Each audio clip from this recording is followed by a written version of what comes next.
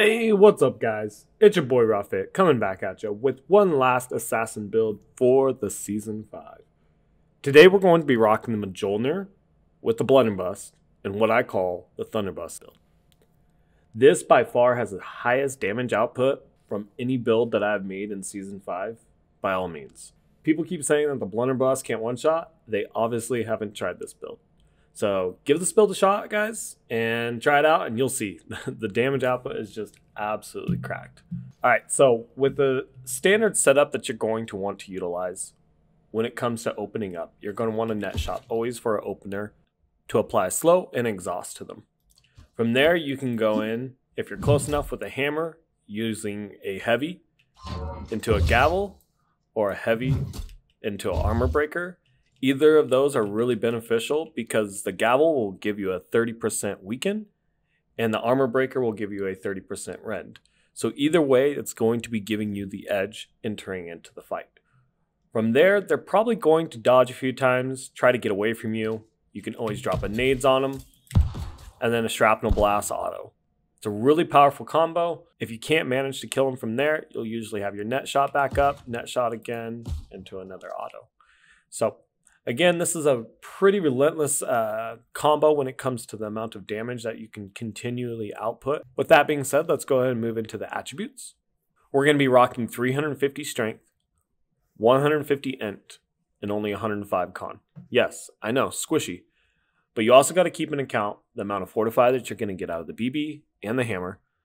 And so the amount of con, eh, kind of irrelevant. BB is almost as good as the hatchet when it comes to the berserk factor. Maybe not as strong because you can't defy death, but it does have a really strong fortify once you proc below 50% health. Now, that being said, with the 150 int, you are going to get the 10% elemental damage and the 10% damage to light and heavy elemental attacks. So that includes BB autos and hammer heavies and light attacks. All right, and blunderbuss weapon mastery.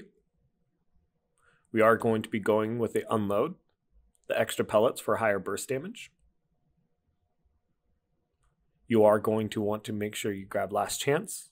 That is what's going to make sure that you don't die when you get below 50% health. And Warhammer Mastery.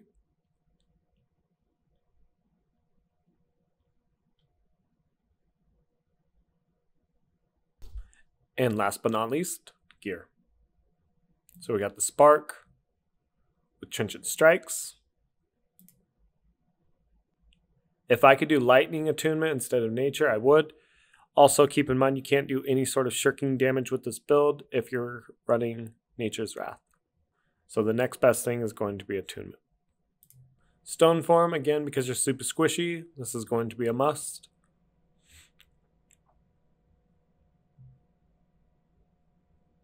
My budget amulet. Again, lightning damage to the max is our goal. Fortifying Toast instead of Empowering Toast because I'm running Nature's Wrath.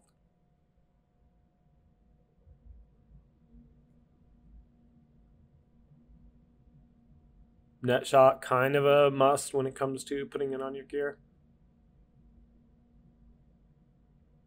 Now, I will say you could drop net shot off of gear and put it on your BB instead of, say, attunement, but I would recommend keeping plague crits and enchanted on it. Having that plague really helps keep healers from healing themselves back up.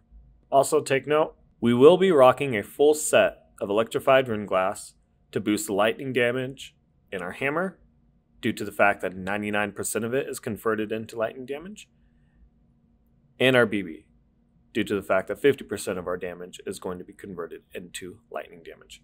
Now you'll see my auto attacks with the BB will hit for like 150 thrust damage, and then the electric damage or the lightning damage will be anywhere from 300 to 350. So the lightning damage is just massive for the BB.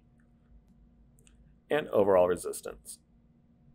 All right, guys, that is it. That is the build. That is the juicy meat and potatoes. If you guys have any further questions about the build, please feel free to drop a comment below and I'll be answering them as fast as I can for you guys. Also, just a quick mention we do have memberships, super chats, and super stickers if you guys ever want to support me a little bit further.